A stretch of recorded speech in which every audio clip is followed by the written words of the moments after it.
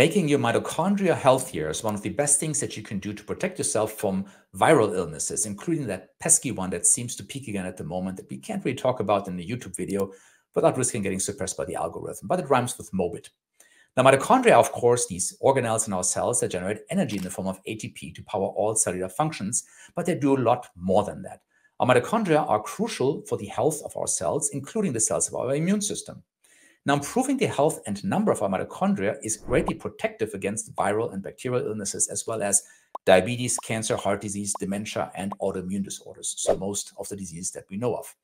I often think of our, our mitochondria as a solar panel roof. Now, electricity is generated here at higher amounts during sunny days, and the system needs to store and absorb this electricity by conducting it through wires to a storage battery or an electric appliance with a high energy consumption, like a pool heater, right? Now, if too much energy is um, generated, the wires can overheat and the battery can get damaged. And this is very similar to our mitochondria. If surges of energy are coming in for prolonged periods of time in the form of high blood glucose, for example, mitochondria will produce a significant amount of free radicals, which is part of their normal energy production. But if these radicals cannot be neutralized to some extent, then the mitochondria may get damaged and release some of the radicals into the cell where they can cause further damage, including in the nucleus. Now, melatonin is a molecule that's produced in the mitochondria to cool the system of energy production by neutralizing free radicals and improving the storage of energy. It is also one of the most powerful antioxidants in the human body. About 95% of all melatonin is produced in our mitochondria, and only 5% is contained within the pineal gland of our brain. And this is released around the time we go to sleep. This is what we think of when we talk about the circadian rhythm, you know, the sleep wake cycle. So the majority of our melatonin is used to decrease free radicals in our mitochondria and in other parts of our cells. And the production of melatonin in our mitochondria can greatly be increased by our exposure to red light and near infrared light. So these frequencies are part of regular sunlight and can be found in LED panels or beds that use red light and near infrared light at around 630 and 850 nanometers. Near infrared light is the warmth that you perceive when you are out in the sunlight. So this penetrates through thin clothing and can even pass through bone into deeper tissues. So when you're out in the sunlight, you know, even uh, it, it will go through your skull into your brain and it is very beneficial for the neurons in our brain because, again, it stimulates the production of melatonin in these cells as well, which then protects the cell, it protects the mitochondria. Now, interestingly, you don't have to have direct sunlight exposure for prolonged periods of time to get sufficient amounts of near infrared light. Near infrared light is reflected off green surfaces. So walking or you know sitting in the shades of trees, for example, will still give you sufficient near infrared light exposure without significant UV exposure, which of course can be harmful or burning your skin over time, right? And it's interesting. So in this is one of the things that we don't get enough of these days. So we used to be outdoors a lot more than today. You think back about 100 years, 150 years ago, we spent a lot more time in the sunlight, right? And besides that, we also got some of our infrared light from incandescent light bulbs. Those are the old light bulbs with the filament. They produce NIR or near infrared light. Today we have LED light bulbs. There's no uh, near infrared light there. Also, we're using low energy glass. So this glass, you know, it keeps our houses from heating up because it filters out the near infrared light. So we're getting a significant amount less today than we used to about 100 years ago. And I think this is one of the issues we have today, why we have more diseases. is one of the things that contributes to our increase in certain diseases and diseases in the population. so anyway, so spending about 20 to 30 minutes outdoors, even in indirect sunlight, can give you sufficient near infrared radiation to greatly improve the health of your mitochondria. This is quite easy to do. It's something I try to do on a daily basis. So again, the wavelength of the red light, which we can see, is 630 nanometers, and near infrared light, the optimal frequency is around 850 nanometers, right?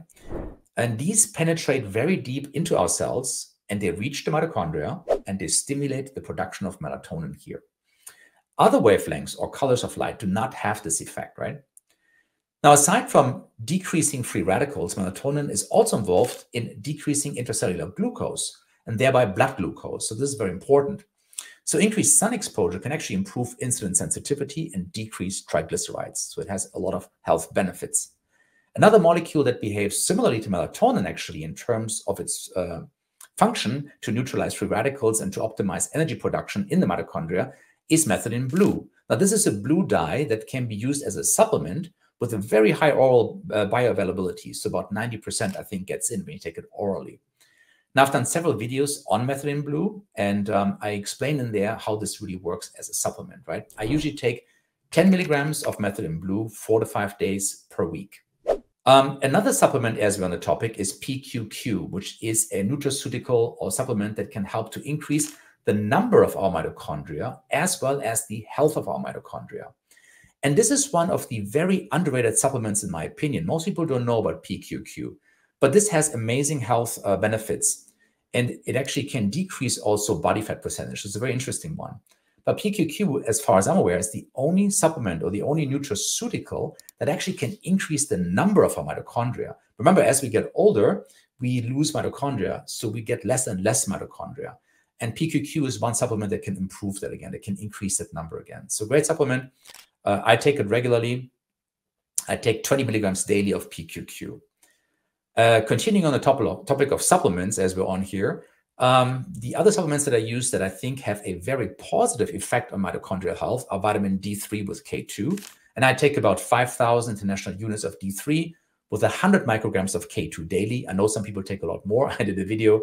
Um, there was an interesting case where people took too much of it. There were a few cases in literature. You can overdose. It's rare. Uh, but if you take upwards of 50,000 or more, of course, that's an issue. Now, none of these um, dosages here and supplements are recommendations for you to take. You should discuss this with your primary care doctor because I don't know your medical history. There might be contraindications on some of these and they might interact with some medications. But personally, I take 5,000 international units of D3 with 100 micrograms of K2. But the K2 is important when we take vitamin D3, especially in larger amounts. It um, increases the reabsorption of calcium, and that calcium if we don't have sufficient vitamin K2, um, is not redirected to bone where it should go, but it can deposit in arteries. So K2 is a very important vitamin to take. It's usually in butter and other things, but I think it's good to consume this as a supplement, right? Now, vitamin D3 is involved in mitochondrial respiration and it decreases inflammation and oxidative stress. So highly supportive of the mitochondria. Another supplement I take is berberine, uh, and this can actually lower blood glucose Therefore, of course, very protective of the mitochondria, as I talked about before, because it prevents these surges of energy production caused by high blood sugars. So I take 1,500 milligrams of berberine daily. Coenzyme Q10, I take uh, 100 milligrams of that four to five times per week. Now, coenzyme Q10 can help to improve mitochondrial health because it is an electron carrier in the, elect in, in the mitochondrial respiratory chain. And it's also a very important antioxidant. Um, and then another one I take is R alpha lipoic acid. It's important it's R, not L. So capital R dash alpha lipoic acid. This is an antioxidant and cofactor for the mitochondrial respiratory enzymes. I take 240 milligrams of that daily, right? Now, besides sun exposure, or I should say near infrared light exposure and supplements, another thing we can do to improve the health of our mitochondria is to make changes in our diet. And the first step here is to decrease our consumption of seed oils talking about corn oil, canola oil, soybean oil, cottonseed oil, sunflower oil, safflower oil, grapeseed oil, and, so on. Now, these are very rich in omega-6 fatty acids. These are polyunsaturated fats, very rich in omega-6 fatty acids. And omega-6 you know, fatty acids are difficult for us. Now, we used to have a ratio of omega-6 to omega-3 fats of about one to one in our hunter-gatherer times, and that was ideal for our bodies. Today, it's 20 to 1. So we're having um, way too many omega 6 fats that we take in. Now, the issues with these is that they're disproportionately stored in our mitochondria, and there they can elicit insulin resistance and mitochondrial dysfunction. We can't use them easily as fuel. They're mostly like uh, signaling and structural molecules. So we need some of them, but we, we're taking in way too much of them. There's also an issue in how they are produced. Now, if they are expeller pressed, that's better, but a lot of them are chemically extracted, and this is a whole chemical factory that makes these. It's these are not very good oils, just based on that alone, but then also because of their high omega-6 content. So unfortunately, they're in all of our fast foods. Highly processed foods always have omega-6 fatty acids and there. You can look at it, there'll be soybean oil, canola oil, and in all processed foods that you can buy in a supermarket. So what some people do then, they increase the intake of omega-3 fat, which is fine to do. I did a video just warning about if we get uh, omega-3, for example, from fish oil, make sure it's an unoxidized fish oil. And then it's actually beneficial and good for you. Many fish oils are oxidized, so check the label. Uh, it should be third-party tested and ideally IFOS certified. And then you usually have a good one and then look at the expiration date. But besides increasing omega-3, I think it's a good step to decrease, again, our consumption of omega-6 to get that ratio better. And that's actually highly beneficial for mitochondrial health. Now, you can replace these seed oils with um, small amounts. Remember, not too much fat, but some fat is okay, of avocado oil, olive oil, or butter, or ghee if you want to be fancy. now, avocado oil and even olive oil, be careful. Many of these oils, even if it says 100% avocado oil on the bottle, have been cut with cheap soybean oil and other oils. There's a big scam going on. The one oil that I found in studies that did fairly well it's, uh, uh is an oil, an avocado oil that is called Chosen. And you can get this in the supermarket. Most supermarkets will have this. That's one of the better ones there, right? The same goes for olive oil. So a second step is to avoid simple sugars and decrease our total carbohydrate intake to less than about 150 grams per day, in my opinion. For some people, if you're struggling with type 2 diabetes, for example, I would try to get even under that, net, close to like 100 grams per day if you can. now, simple sugars or higher amounts of carbohydrates in general can overwhelm the mitochondria by inducing them to overproduce ATP. And this, again, is equivalent to a solar roof that is exposed to massive amounts of sunlight day and night. And ultimately, this leads to heating up and burning of wires and destruction of the storage battery, right?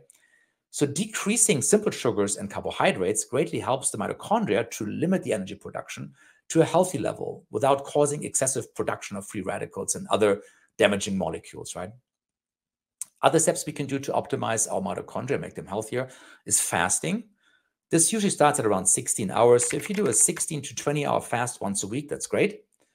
Better benefits, of course, if you fast longer than that, something on the order of two or three days. But for most people, that's difficult to do. But if you pick a day a week where you go for an 18 to 20 hour fast, this is already very beneficial and can give you benefits in terms of mitochondrial health. It helps with weeding out, you know, old cells and old mitochondria that are not functioning well, and it stimulates the production of new mitochondria. So that's an easy thing to do. If we want to increase our mitochondrial content in our muscle tissue, we can do this by inducing muscle hypertrophy through exercising, building more muscle, right? Resistance training. And that is something where, when you think of our muscle cells, they don't divide, but they can increase in size. They can incorporate more protein. And at the same time, they will also incorporate large amounts of mitochondria. So, this is another thing we can do to increase mitochondrial number and mitochondrial health, at least in those tissues, right? Um, and then, lastly, very important and highly um, under uh, talked about or underrated is sleep. Seven to nine hours per night is my recommendation, but I'm talking about good sleep here, not one of those things where you wake up all night and you feel lousy in the morning. Good quality sleep. And um, here, there's a supplement that I'm taking that has really been a game changer for me. It's been a huge change in my daily energy levels, in my uh, brain function, and overall brain health, I would argue. And that is something called Remade, and I'm going to link this in the description. It has um, several uh, sleep supplements in there that are frequently talked about uh, by, you know, Andrew Huberman, for example, um, that are very beneficial for our our uh, for good sleep and for sleep that is regenerative overnight. So there are differences in how you sleep. This is something that I think is hugely helpful. At least it was very helpful for me. You can read this up in the description. So again, these are the steps that I think are good. Again, you don't have to always go to supplements. Sun exposure, um, dietary changes can make a big impact on mitochondrial health and thereby helping your immune system to pick up and, and just overall making you healthier, more energetic, and hopefully also sleeping better throughout the night. So if this was helpful, um, please leave a comment and uh, subscribe. I check those and I'm highly interested to see what supplements you're taking for the purpose of improving mitochondrial health, of improving your immune system, what has worked for you and what supplements have not worked for you. And I'd love to discuss this.